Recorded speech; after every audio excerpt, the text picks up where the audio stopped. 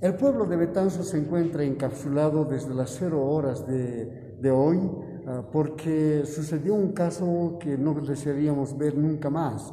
Pasa que un paciente no se reportó, no fue a hacer sus chequeos y ya cuando fue al centro de salud de Betanzos y era demasiado tarde, ya no tuvimos tiempo de aplicar las los protocolos, el tratamiento necesario, de modo que él antes de llegar a su casa, caminando por la calle, uh, falleció y este es un fallecimiento en vía pública.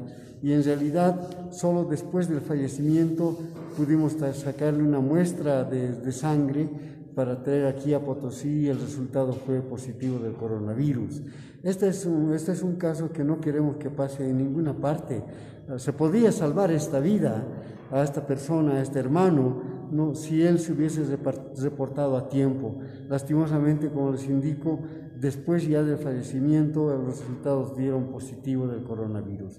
Hermanos, hermanas, les recomiendo, no es pecado tener esta, esta, uh, este virus, no es ningún pecado, no, es ningún criminal, ningún malhechor que se contagia.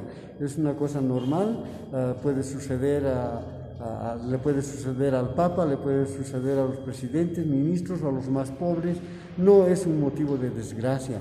Por favor, repórtense y si se enteran de algún vecino o alguna persona, por favor, anímenle, no es ningún mal reportarse. Miren, esta vida la hemos perdido por no haberse reportado a tiempo.